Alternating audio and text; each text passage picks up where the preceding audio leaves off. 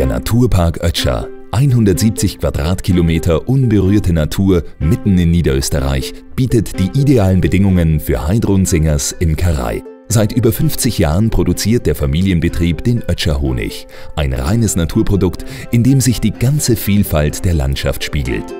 Ich bin in einem Familienbetrieb, in einer Berufsimkerei aufgewachsen und es waren die Bienen eigentlich unsere normalen Haustiere. Und meinen ersten Bienenstock habe ich bekommen, da war ich so zwei Jahre alt. Heute arbeitet Heidrun Singer mit 500 Bienenvölkern. Ein Volk, das sind etwa 60.000 Bienen, produziert im Jahr 15 Kilo Honig, die entnommen werden können. Um sich selbst zu ernähren, braucht ein Bienenstock weitere 60 Kilo Honig im Jahr. Das heißt, es steckt unheimlich viel Arbeit dahinter. Und wenn man sich vorstellt, so ein Kilogramm Honig, damit die Bienen das sammeln können, müssen sie fast viermal rund um die Erde fliegen. Der Ötscher Honig wird nur einmal im Jahr geschleudert und jeder Jahrgang ist ein Unikat. Ich habe von der Frühjahrsblüte über den Wald bis zur Alpenflora alles drinnen und es schmeckt auch dieser Jahrgangshonig jedes Jahr ein bisschen anders, je nachdem, was die Bienen an Trachtangebot finden. Bienen und der Naturpark. Das ist eine perfekte Symbiose. Die Bienen profitieren von der Vielfalt der Natur und leisten gleichzeitig einen wichtigen Beitrag zur Erhaltung dieser Vielfalt. Imkerei bedeutet nicht bloß Honigproduktion, sondern ist gelebter Naturschutz zum Wohle der Allgemeinheit. Biodiversität ohne Bienen ist nicht vorstellbar. 80 Prozent der Kultur- und Nutzpflanzen werden von unseren Bienen bestäubt.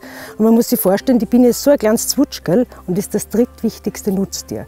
Es, ist, es gibt mir eigentlich die Befriedigung, die ich möchte. Geistige Arbeit ist schön, aber wenn ich am Abend todmüde ins Bett falle und weiß, die Hände haben etwas gemacht, ist es für mich einfach erfüllender. Produkte aus Ihrer Region. Jetzt im Regionalregal bei Billa.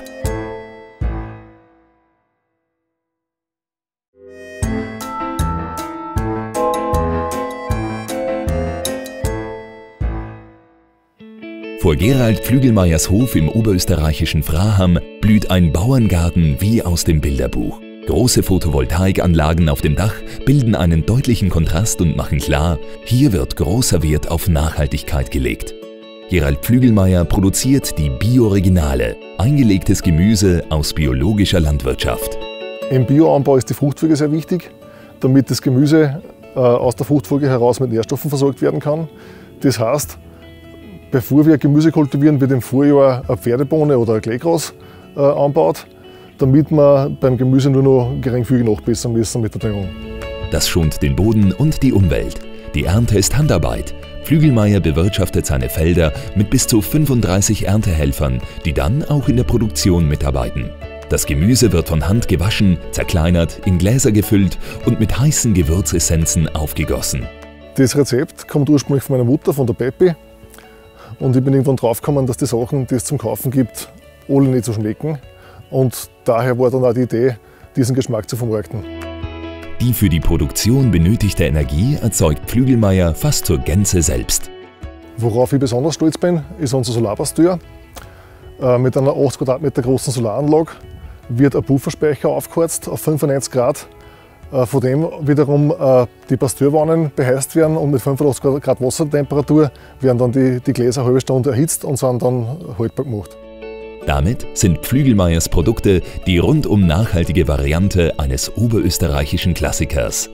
Das Einlegen von Gemüse und Essig ist bei uns in Oberösterreich sehr traditionsreich. Einerseits geht es darum, dass man ursprünglich versucht hat, Gemüse, das im Sommer überschüssig war, für, für den Winter zu konservieren. Heute geht es vorwiegend um das Geschmackserlebnis, das man, das man damit verbindet, wenn man Essiggurken oder, oder Senfgurken oder einen Pfefferoni aus dem Glas raussnackt. Produkte aus Ihrer Region. Jetzt im Regionalregal bei Billa.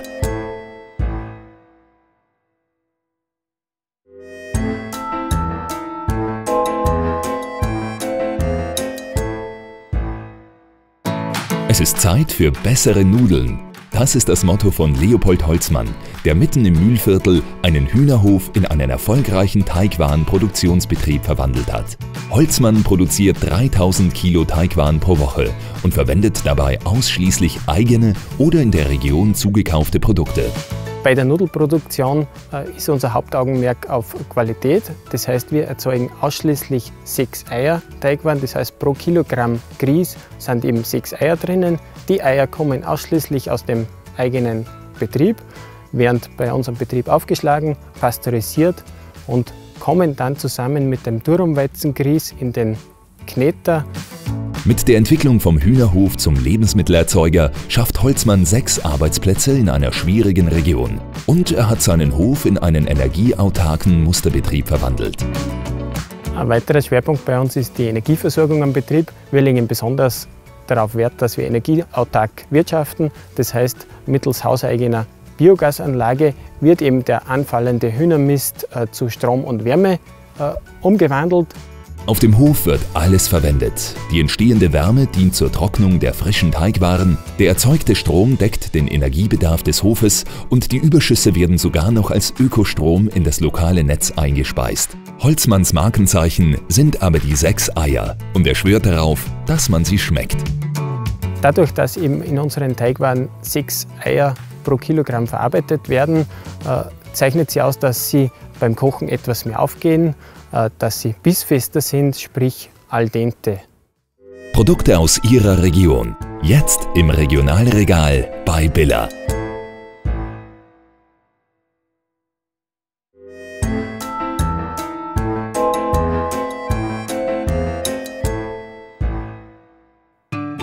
Sie sind das Wahrzeichen des Pilachtals. Dirndeln sind hier nicht nur Mädchen und Kleider, sondern vor allem kleine, rote, kirschenähnliche Früchte.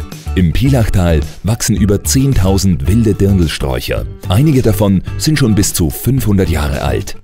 Die Dirndlernte ist Handarbeit. Die reifen Früchte entfalten erst dann ihren leicht herben Geschmack, wenn sie von selbst abfallen. Melanie und Josef Fuchssteiner sind die junge Generation einer Dirndl-Dynastie. Auf ihrem Hof produzieren sie Dirndl-Marmelade, Saft, Senf, Dirndl-Schnitten und den Original Pilachtaler Dirndl-Brand. Ich komme aus der Gegend, äh, bin eigentlich nur fünf Minuten vom Hof Fuchssteiner entfernt gewesen und habe in Josef, in Junior, dann kennen und lieben gelernt. Der hat den besten Met gehabt aus der ganzen Umgebung und ja, so haben wir sich immer angepirscht. Die Dirndlverarbeitung ist schon seit langem eine wichtige zusätzliche Einnahmequelle für die Milchbauern. Unsere ja, Urgroßväter haben das eigentlich schon praktiziert. Da haben sie mir auf unserem Hof, haben sie da schon Gedanken gemacht, alte Obstsorten zu Kostbarkeiten zu veredeln.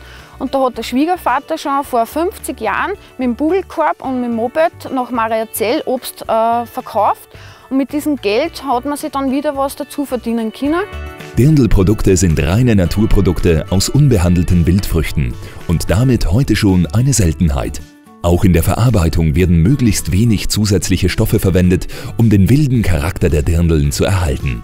Und so verkörpern wir eigentlich das, was wir immer schon gemacht haben, aus Leidenschaft, aus kleinen Früchten etwas Kostbares zu machen und natürlich das nur von innen nach außen zu spüren, ist natürlich ganz was Tolles, wenn man sich mit sowas beschäftigen darf und sowas Kostbares aus Mutter Natur veredeln darf. Produkte aus Ihrer Region. Jetzt im Regionalregal bei Billa.